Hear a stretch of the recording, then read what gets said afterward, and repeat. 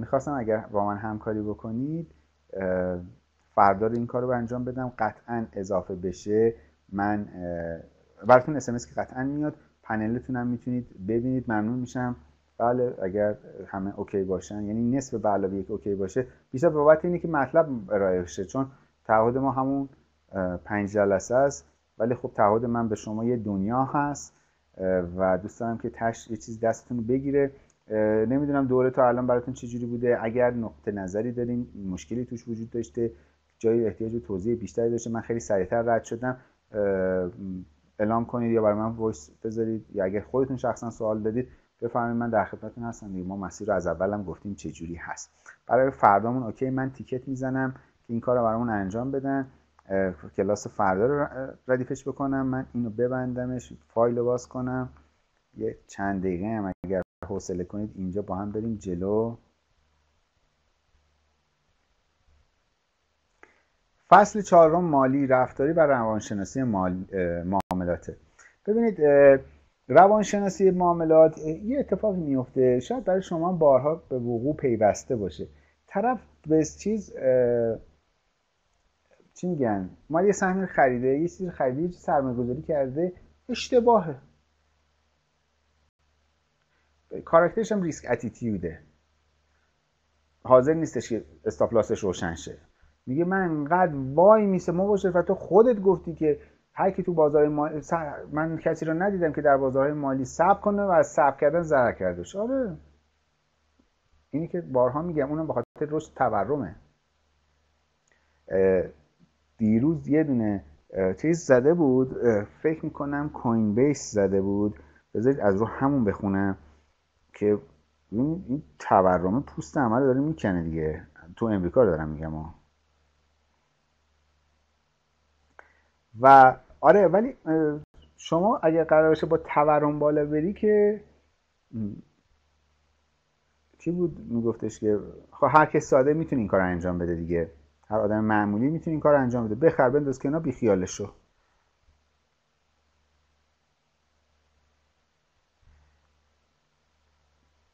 خب فصل به این داستان یه موقع زمان می‌بره. دنبال انتقام گرفتنه. یه صحبتی داشتیم ما دو نوع دروغ داریم. یک دروغ سفید یک دروغ, دروغ سیاه. دروغ سیاه چیه؟ کسی به شما میاد یک حرفی رو می‌زنه غیر واقع. مثلا میاد میگه که اون فروشگاه ازش می‌پرسی فروشگاه سر... اون نونوایی بازه. دیده بازه ها ولی به شما میگه نه بسته است آدرس می‌پرسین آدرس می‌پرسین بهتون دروغ میگه. مسیر اصلا پرتتون می‌کنه بیرون. این میشه دروغ سیاه. دروغ سفید چیه؟ دروغ سفید میشه زمانی که یک آدم می‌خواد شما رو خودش رو در چشم شما بزرگ جلوه بده و بگه من اندشم. اتفاق میگه تو بازار مالیه. هر چی ازش می‌پرسی میگه تو سودم. میگم لامصب صندوق سرمایه گذاریش با اون همه پول ضرر که تو چیکار که تو بیا به من اصلا تو رو به چارج رفیقان معرفی کنم مشاور وایسی. مگه میشه؟ مگه داریم؟ همه تو سودی. طلب مطمئنم پول زده به اصل سرمایش زیان. ولی حاضر به خاطر اینکه نمی‌خواد برند خودش رو خراب کنه احساسش اینه. میاد به تو دروغ سفید میگه. که خودش رو ارضا بکنه. و این جریان وقتی خطرناک میشه که این دروغه تبدیل شه به خودش هم باور داشته باشه. و این آدما میان دنبال انتقام گرفتن از بازار. روانشناسی معاملات بسیار مهمه. دوستان بهش دقت بکنید من هم که اینجا نشستم ضرر کردم اشتباه خرید کردم تو بورس اومدم بخرم دکمه فروش زدم تحت فشار بودم. پای تابلو وایستادم من خرید و فروش کردم تو بازار حافظ. نمی‌دونم استیشن داشتی. از این همه من همه این مسیر رفتم تو همش هم به هر حال تجربه بالا پایینش داشتم. اون موقعی هم که 1309 تا بیت کوین یه دلار بوده من درگیر بازار بودم کف بازار داشتم خرید و فروش می‌کردم می‌رفتم تابلو میخوندم تو تالار وای میسادیم با دوستامون حالا درگیر بازار بودن پس چیزی اینو بابت این میگم که نه که خودم بخوام مثلا خیلی آدم کولی نشون بدم نه فرق نمی‌کنه برای من که. بابت این میگم که شما خودتون درگیر این داستانه نکنید. با این آدمای عجیب و غریب زیاد برخورد دارید. بحث معاملات هیجانی و پشت سر هم یه برنامه براش داشته باشین. الکی خودتون درگیر معاملات مکرر و بعضا یکیش اشتباه میشه نکنید دیدین توی رانندگی مثلا طرف یه مثلا اون روزش روز بدی باشه یه دو تا خطا پشت هم انجام بده بازم این خطای تکرار تکرار میشه خطرناکه. استفاده از اخبار زرد و گروه های پامپ و دامپیه که دیدین دیگه کم اصلا فوق زیاده. معاملات به سبک کازینویی. یعنی اینکه به طرف میشینه میگه که من اینقدر روی می‌خوام بیام. مباشر مگه نگو 5 درصد بریم رو ایکس پی؟ می‌خوام سی درصد برم. اگه بگیره جریان طرفی که آب دوغ می‌رفته تو دریا بعد می‌گفته که چیکار داری میگم میگه اگه بشه چی میشه؟ نه خب این معاملات کازینویی جواب نمیده تو این بازار. مخصوصا یه همچین بازاری که pump با pump و dump ش شما تازه اثبات داری می‌زنی. با pump و dump ش می‌تونه داغون کنه. اونی که لورج می‌گیره تو کارگزاری که margin call میشه اصلا فاتحه مع الصلوات اصل مایه رفت. و به خاطر همین دارم میگم خیلی حواستون باشه. عدم وجود استراتژی معاملاتی داغون می‌کنه. استراتژی غلط بهتر از نداشتن استراتژی داستان نیکولاس دارواس رو براتون گفتم دیگه همون آقایی که رقص باله انجام میده که دو میلیون چگونه دو میلیون دلار در بورس کسب کردن تو امریکا در 1970 دو میلیونش خیلی پول بوده. الان براتون نسبت رو بگم. این یه سایت من اشتباه گفتم Coinbase بیت کوین یه پیج Bitcoin Price Daily اومده گفته 100 دلار امروز می‌تونه معادل دو دلار در, در سال 1970 باشه. دهه هم نه 1970 باشه. و حالا داره در متن بیت کوین داره صحبت می‌کنه. شما حساب کن 100 دلار الان معادل دو دلار یعنی کاربردش از نظر ارزش معادل دو دلار 1970 هست. ببینید که چقدر این یعنی 50 برابر ارزش کم شده دیگه. درست میگم؟ درست حساب کردم؟ و این مسئله باعث میشه که چی؟ اینکه به اون ارزش اون دو میلیون دلاره که برسیم و اون بر اساس داشتن استراتژی و عدم درگیر شدن 7 در 24 تو بازار بوده. کتابش خوندنیه کار دو سه روزم بیشتر نیست. تعطیلات نوروز هم انقریب نزدیکه و حالا البته مونده آیه یه ماه کار داریم تا برسیم ولی خوب مثل برق و باد میگذره و مطمئنا الان با این داستان کرونا احتمالا همه شهرها دوباره قرمز میشه. عیدم دیگه دوستان نمی‌تونن برن شما حالا با این پولدارایی که میرن با هواپیما میرن رامسر.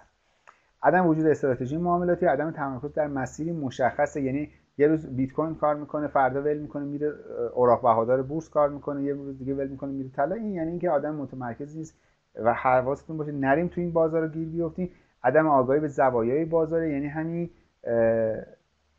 داستان موضوع اینکه شما مثلا من صفر صدر یه مقداری جلسه اولش رو گذاشتم به عنوان نمونه. یه سری محتوا توی کانال یوتیوب هست. اما خب برای لابلا اینو باید بچرخین اطلاعات کسب کنین. اگر ندونی مثلا فورکو نمی‌دونم هافینگ و اینا چیه توی بازار کریپتو بخوای زندگی کنی زندگی کنی دقیقا دارم میگم زندگی کنی مطمئن باش با شکست مواجه میشی. من یه مجموعه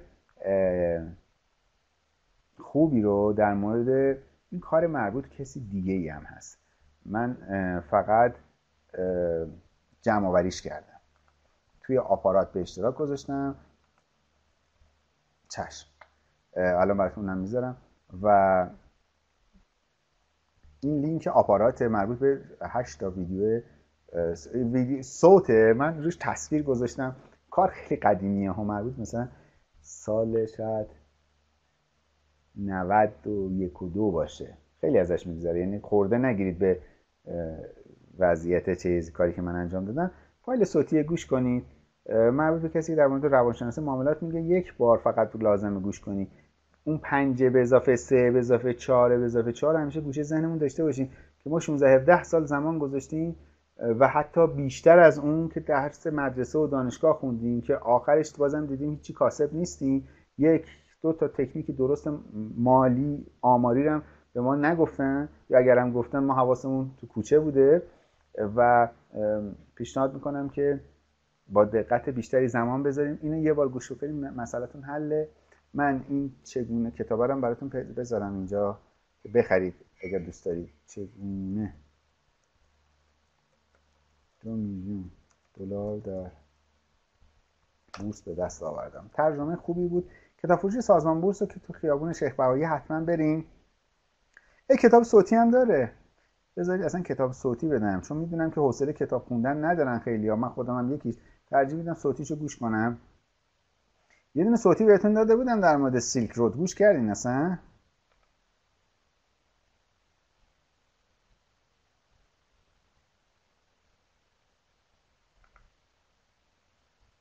خدا شکر هیچ گوش نکرد. ممنون از صداقت سفیدتون. خب من این لینک اینو برای شما می‌ذارم. How I made 2 million dollars in the stock market. اینو بذارم اینجا.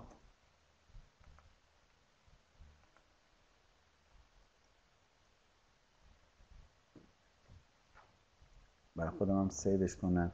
این ازش استفاده بکنید.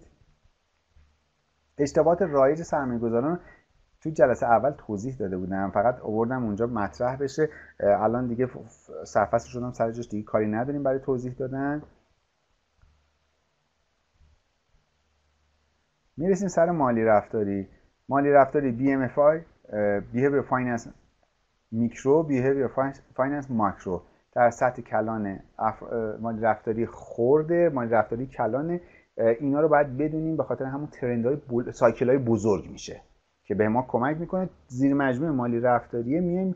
یک نهی یک کات مشتی می‌زنیم رو حوزه financial astrology در خصوص behavior finance و financial astrology 5 تا ویدیوی کامل در این حوزه من توی این مسئله تهیه کردم. اینجا با هم مرورش می‌کنیم فقط. چیز اضافه تری ندارم بهش بخوام اضافه کنم. بحث فوق العاده جذابه. پیشنهاد می‌کنم اون 5 تا ویدیو رو ببینید به دوستاتون هم توصیه کنید. از حالا دوستانی که مثلا شاید شرایطی داشته باشن که الان نمی‌تونن سر کلاس حضور پیدا کنن یا اینکه هر مشکل دیگه دارن اون ویدیو رو ببینن. قسمت قابل توجهی به دست میاره اما خب تجربه کلاس و معامله گری رو هیچ کدومش توی اون ویدیوها به خاطر نوع هدفی که اونو داشته ارائه نشده. من بیام پایین تر یه تست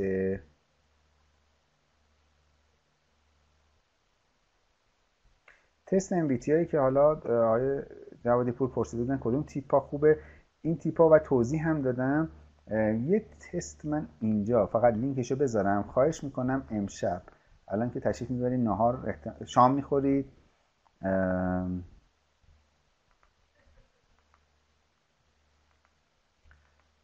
خب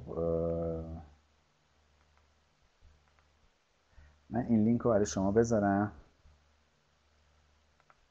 این لینک ها رو اصلا استفاده می‌کنید یا نه؟ همینطور من فقط لینک می‌ذارم. روی اینا تست داره.